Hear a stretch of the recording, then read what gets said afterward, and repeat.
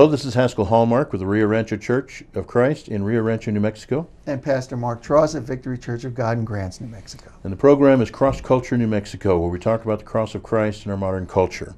We're finishing up the book of Romans this morning. We're in Romans chapter 16, and we went through a whole list of names that he greeted at the end of it. There's one verse there at the end of that we probably need to go back and, and finish with, though. So let's go to verse 16, where he says, Greet one another with a holy kiss. All the churches of Christ send greetings. We were talking about it in between uh, our discussions last time and this time that the holy kiss, the emphasis on the holy, the purity of God, the purity of us, we're supposed to have a holy relationship. This is not a sexual thing. This is not a thing that's designed uh, where a, uh, a man and a woman express something to themselves, to each other, in a very special way. This is actually just a greeting. Mm-hmm. Now, it just happens in their greeting, they greeted each other with a kiss. Now, we're probably talking something more like what the European kisses are today, where they'll do the kiss on each side of the, the cheek. You mentioned the Italian family from mm-hmm. your wife. Uh, that's the a very French. common thing. The French, yeah. Uh, we don't do that in our culture right now, but we still do the, the handshake, and of course it's supposed to be the the uh, the weapon hand that is used to shake, and that's a sign of of uh, I'm not a threat to you. It's a sign of peace. It's a sign of peace. Yeah. yeah, and the holiness there is emphasis. Now I'm a preacher in the churches of Christ, and he says here all the churches of Christ send greetings. What's interesting about this phrase here, this is not a name. This is a description. Right. The word church here comes from the word ecclesia, which means the called out ones. You mentioned it last time. The called out ones, we're the called out ones of Christ, the ones who are in Christ, then. In other words, the saints, the, uh, the uh, Christians, however you want to describe them. It's not a title. In fact, if you look in the scriptures for a title of the church, you will not find one. Mm-hmm. You find descriptions churches of God, that's the called out ones of right, God. Right, it's the, the same thing with me. That, that that's mm-hmm. in Scripture, mm-hmm. but it's not a particular title. It's not. It the is the reality of mm-hmm. the church, mm-hmm. and as you said, the church is called out. That, that that word also means that the church is powerfully reaching out. And okay. that's something that you don't mm-hmm. see much of today. We can talk mm-hmm. about evangelism, we'll preach the gospel, mm-hmm. want people to receive Christ. But we are to be active in our communities. We are sure. to be recognized. And this is what got the church in trouble at, mm-hmm. at, the early times because they were mm-hmm. spreading all over the place. And, and mm-hmm. much of it was you know, brought on persecution. But we're still to be that today. We are the salt of light, we are the change agent. And, and, we are called out of Christ, not called out of the world or called out of uh, Satan or called out of some particular person. We are the ones who are called out of Christ. We are mm-hmm. the churches of Christ then. Uh, but it's a generic reference to all the churches there. Now, there weren't any denominations back then. Right. They already had some heresies beginning to crop up, and there probably were some groups that had split off already. But basically, he's talking about the churches of Christ. If we recognize then that the churches of Christ uh, are the churches in that area that are sending their greetings, all he's really saying is uh, the Christians here send their greeting and it just happens to be the way he expresses it here. The description of the churches, meaning there are different groups, there are different individuals, uh, different scattered around, because he was in an area that would have had a number of different churches in a number of different towns. And he says, then, greet one another with a holy kiss, and all of us send our greetings to you. Mm-hmm. All right? Would you like to read on then? You're reading King James. Why don't you start in verse 17? Now that we're past most of the, the hard names. The hard names? Absolutely. All right. Yeah, I should have left that to you. okay, verse 17. Now, I beseech you, brethren, mark them which cause divisions and offenses contrary to the doctrine which ye have learned, and avoid them. This is a key mm-hmm. scripture here because we're, we're basically taught, well, we're not to judge one another, but it's critical that we rightfully view, yeah. divide the word of truth yeah. as believers. Mm-hmm. And as you said about the Church of Christ, or mm-hmm. I could point out Church of God, it's not about we're going to take sides here because those are mm-hmm. the churches that we're attending. Mm-hmm. It's about preaching the truth of the gospel. The scripture predominates everything. Yes. It, it overrules everything. Yeah. Your opinion, my opinion, anybody else's teaching or doctrine that doesn't match up with this book, because this is the Word of God. And we are all required to rightfully divide it. But we do have the ability through the Holy Spirit to do that. It's very clear, and as you said, no scripture stands alone. Mm-hmm. But so, which is why we need to read all scripture. Mm-hmm. All scripture is God breathed. But so it's very important that we, when we see division, when there's gossip, when there's slander, when there's negativity uh, towards any person in the body that is not biblically able to be brought forth by approaching that person hmm. according to scripture or then two people and then bringing it before the leadership or the body. But it's important that we realize paul was guarding and he was telling the people in rome and us today that we need to guard the church. We are the gatekeepers we need to mm-hmm. properly represent it and we need to hold one another accountable to god and each other. And that's a tough one mm-hmm. but we have to man up to that. We have to we are to grow in the grace and knowledge of god Right. which is what kind of what we talked about last time with all these people in this chapter. But we are to be responsible and accountable before god and each other. And we are anybody who's contrary to the doctrines of mm-hmm. this book we need to point out. And unfortunately there's too many of them today. Uh, and there have been over the years as you when you taught about the spirit of antichrist. Verse 18 for they that are such serve not our lord jesus christ. And we need to realize that but their own belly and by good words and fair speeches deceive the hearts of the simple or the innocent. And and you know Jesus is big. The whole, the whole of Scripture, really, when we talk about religion, is about widows and orphans. God does not want us to mm-hmm. take advantage of anyone, especially those who are feeble mm-hmm. and need us. We we are again the mm-hmm. gatekeepers. We are responsible before God to help the widows and orphans. And th- and this is some things that many churches get behind. And this is some things that many churches miss. And, and, and I, I've talked about it here on this program. I get very frustrated with people who say, Well, I don't believe in religion. Because the Bible does teach about a real religion. And that's why we cannot throw the baby out with the bathwater. Right, absolutely. Going back on that idea of the divisiveness and the obstacles, the um, there are several layers of this that we can talk about. We can talk about the relationship errors that we have as people, where I don't like the way you said something, so we discuss it, and then get into an argument over it, and maybe even fall out over it. He talks about that elsewhere, but that's not what he's really referring to here. He's referring to someone who has specifically left Christ. He says they say they're with Christ, but they're not. They're not serving Christ. Uh, we go to the uh, Antichrist thing that's brought up just a moment ago, and John talks about those who used to be part of us but left us and are now preaching a gospel that is not a gospel, that are now preaching a Christ who is not the Christ, and actually are, are uh, opposing Christ because of what they're doing.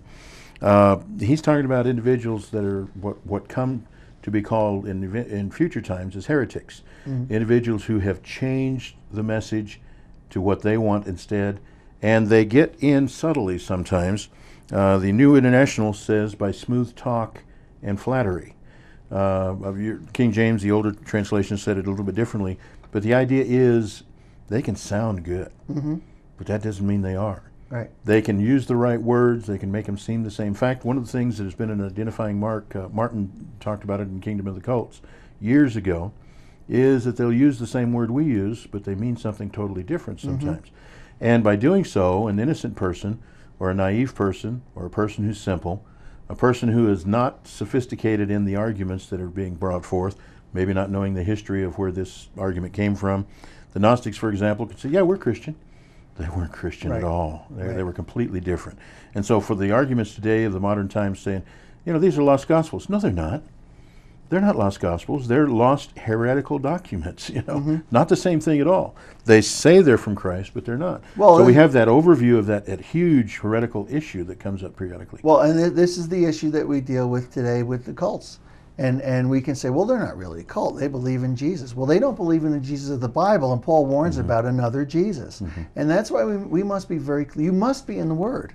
You must be in the Word, or you're not going to see these things. You're not going to know. Mm-hmm. But it, you know, it's it's like the treasury agent that was asked, uh, "You must have uh, studied a lot of uh, fake bills to to understand." He says, "No, no, no.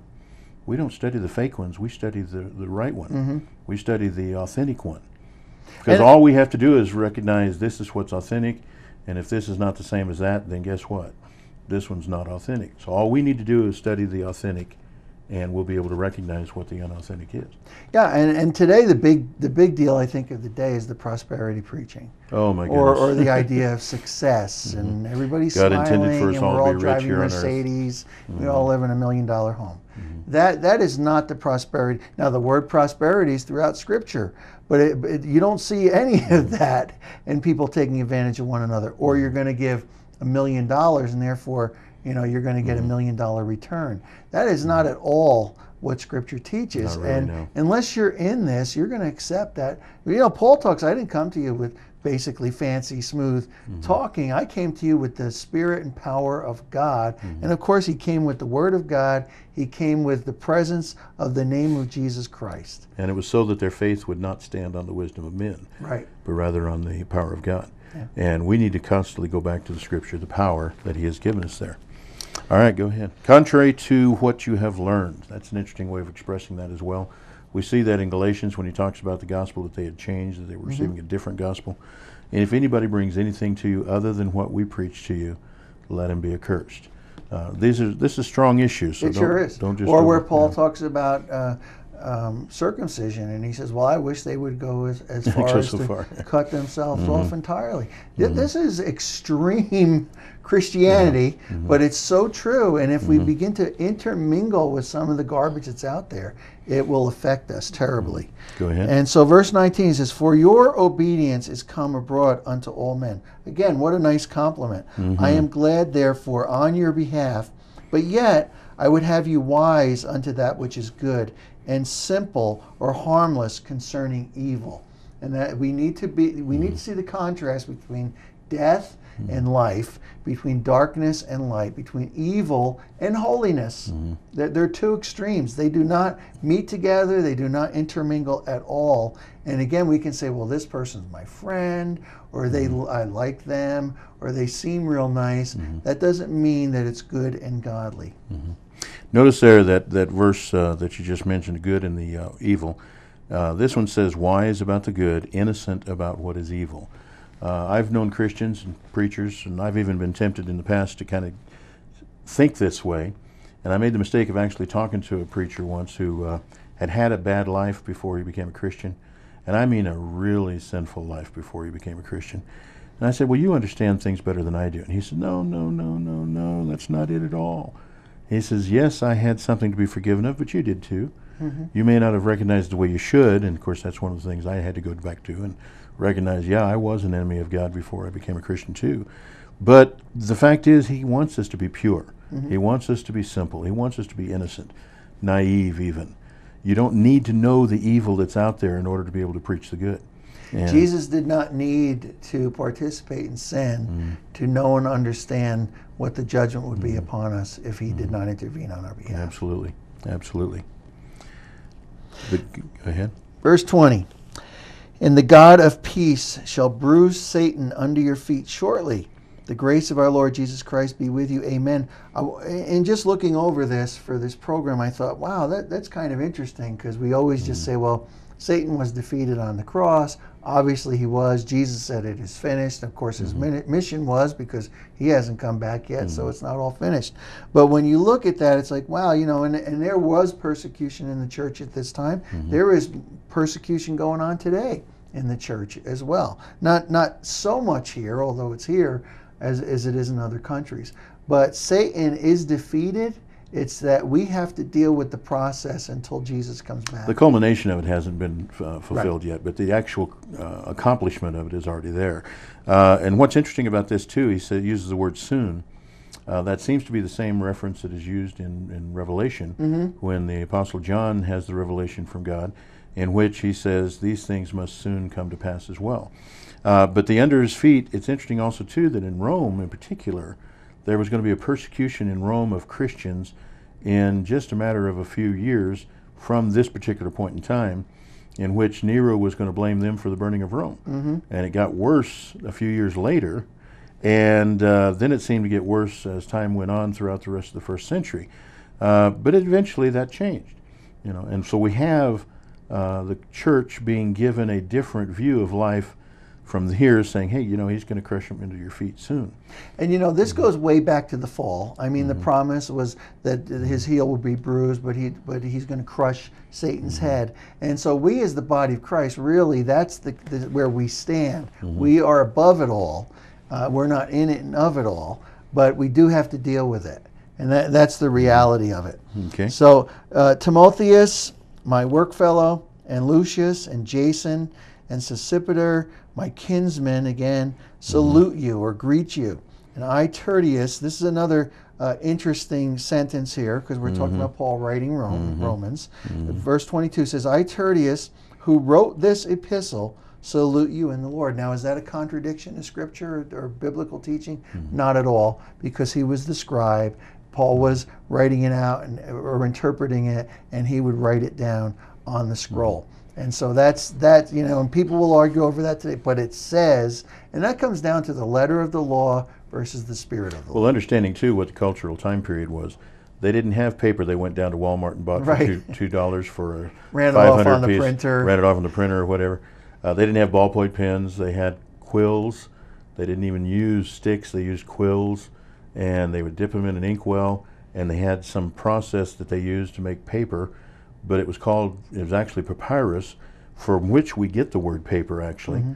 But papyrus was actually a reed that grew on the uh, in the waterways, and it started in Egypt, where they would take these stalks and uh, flatten them out, literally crush them or or, uh, or, or or hammer them until they got crushed out, and they would lay them down in sheets, and then they would cross them and lay them down in other sheets, and then they would make a scroll out of it. This is not something that is cheap. There's a lot of labor involved. There's a lot of expense involved, and when you used it, you used it carefully. And in fact, we find documents, uh, ancient documents, in which some of those documents were cleared of the previous writings in order to be able to put something else down because it was too expensive to go get something else, or it wasn't available in some cases. So what we have is we have a professional uh, scribe, I guess would be the Right. best way to put it. A professional who would do it. it, it correlation to that in business world, that'd be like the uh, executive secretary or the one who takes the, the notes. You know, write this letter for me, and she takes the notes and then goes out and types it for him. It'd be the same type of thing. Tertius or Tertius in this case is the amanuensis. That's the actual word they used in reference to an individual who did that. Uh, that just means he's the secretary or he's the scribe or he's the one who wrote it down.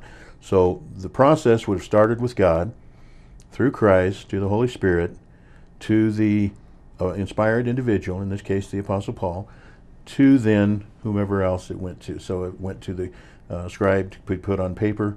Uh, do you think he wrote down something different than what Paul told him to write down? He wouldn't dare. Wouldn't dare. but at the same time, he felt free enough to be able to put a personal note in. I, who wrote this down, uh, the New International actually says who wrote down this letter, uh, which gets across what it actually says in the Greek a little bit better, I think, and that's what we're explaining.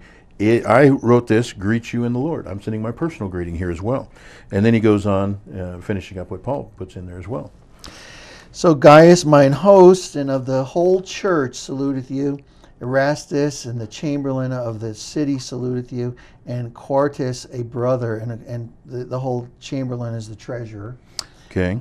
Uh, they actually call it a city director in the New International Translation. What's interesting, though, this is a public official. This is an individual who uh, has been influenced for Christ and has become a Christian. And, um, uh, you know, we think, well, this is just a little minor movement underneath. Nobody of importance was actually reached with it. No, people were being influenced through all stratums of the society at that point in time. Yeah, and Paul emphasizes that in other portions of Scripture as well. Okay. So, um, verse 24 the grace of our Lord Jesus Christ be with you all. Amen. And you know, it's interesting because we see this. Uh, the grace of our Lord Jesus Christ be with you all. Amen. The grace of the Lord Jesus Christ be with Paul opens up with the grace of the Lord Jesus Christ be with you. Um, so be it is what amen means. And but again, the Holy Spirit is the Spirit of grace. This this word is a word of grace because it's a word that's given by the Spirit. Now to him that is of power to establish you according to my gospel. What a, what an intimate way of presenting this. It's the gospel of Jesus Christ that was mm-hmm. given to Paul that he's given. And mm-hmm. again, here's this guy writing it down and now we're communicating it to people around the world.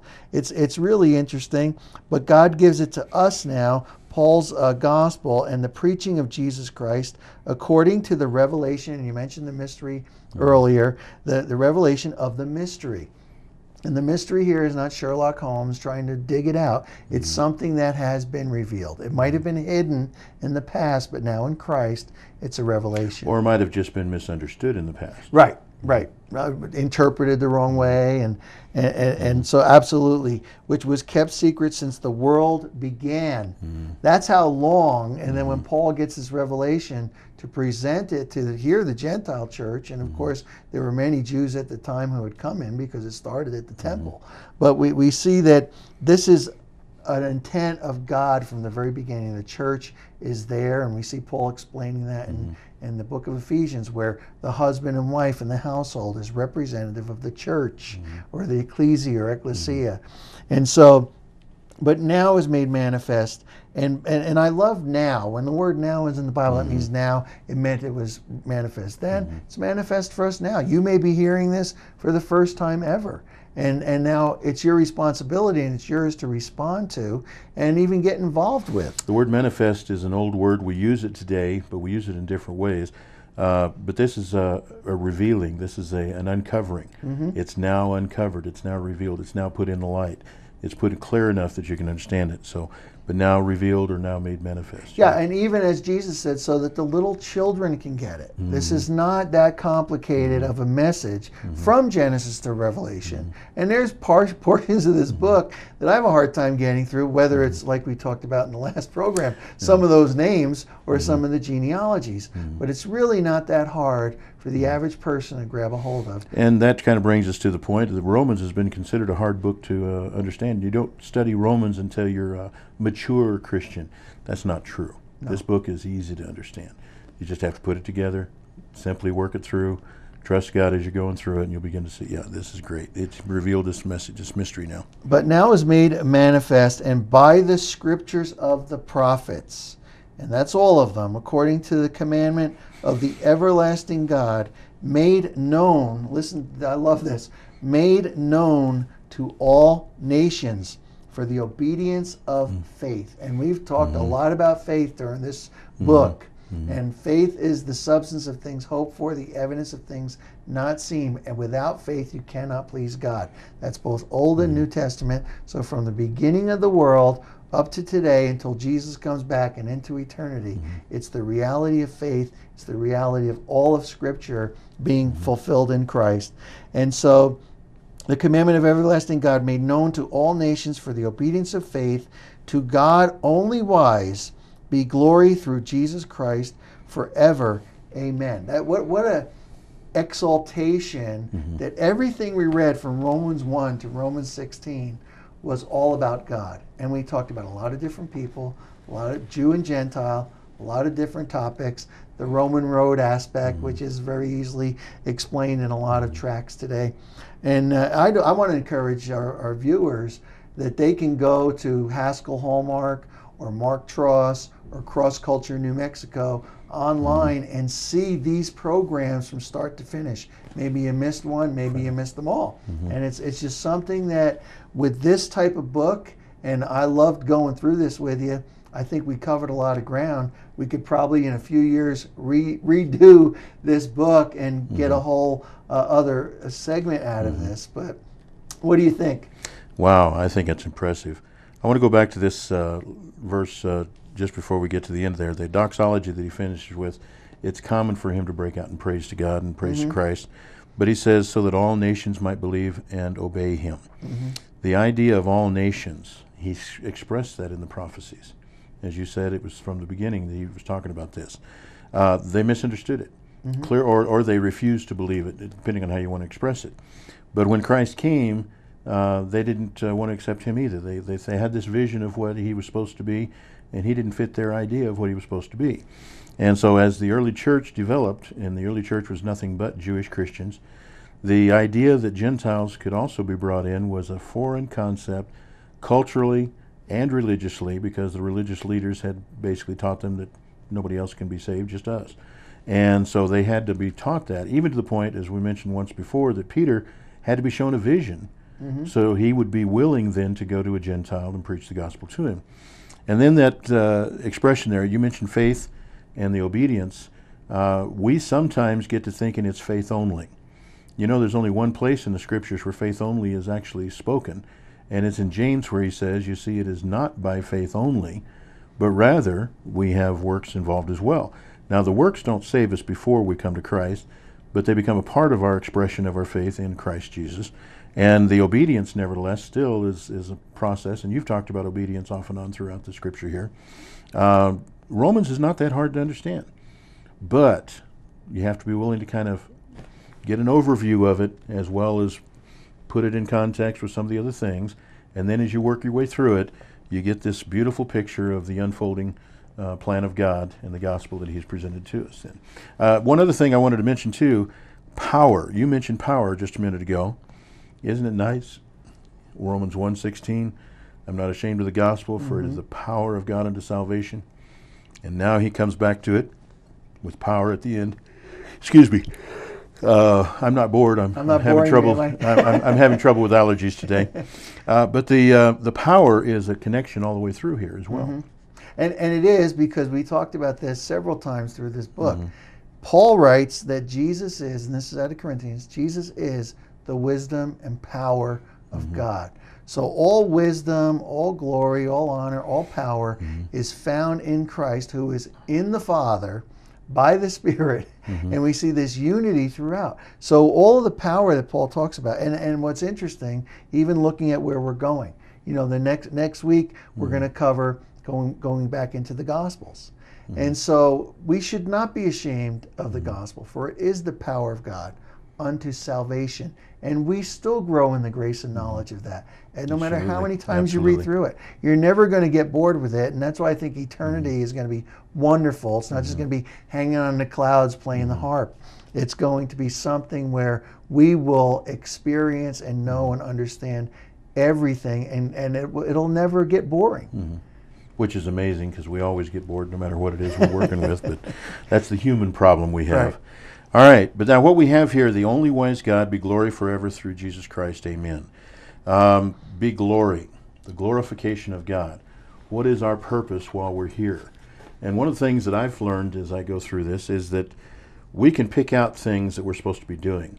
We can pick, uh, pick out things that we're supposed to accomplish. But inevitably, there's this overview, there's this issue of glorification of God, praising God, uh, honoring God. And we pray that in everything we have done today, and we've been doing throughout this series, that we have done so, and that we glorify God in everything we do. And I pray that you will also be uh, uplifted and edified as a result of it. My name is Haskell Hallmark. I'm with the Rio Rancho Church of Christ in Rio Rancho, New Mexico. And Pastor Mark Tross with Victory Church of God in Grants, New Mexico. And the program is Cross Culture New Mexico, where we talk about the cross of Christ in the modern world. May God bless you in your life this week.